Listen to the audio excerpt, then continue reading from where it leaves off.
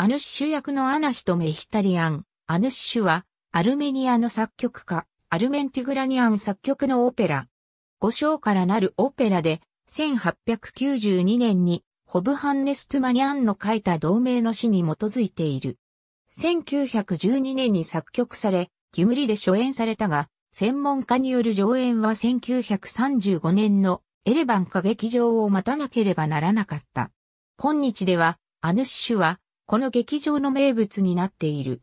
アヌッシュは、アルメニア音楽史で重要な位置を占めている。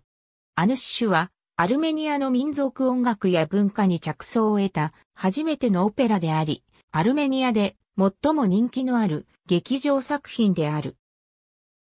このオペラは、小作みのりの少女アヌッシュの悲劇を描いている。彼女の短い恋は、恋人のサロと兄のモッシーのいさかいによる死によって終わる。19世紀のアルメニアの村を舞台に、悲恋は起きる。アヌッシュは若い村の女性で、羊飼いのサロと恋に落ちる。ある夜、村の結婚式で、アヌッシュの兄のモッシーとサロは、友好的なレスリングの試合をする。しかし、慣習通りにモッシーを勝たせる代わりに、サロは村の決闘作法を破りモッシーに恥をかかせる。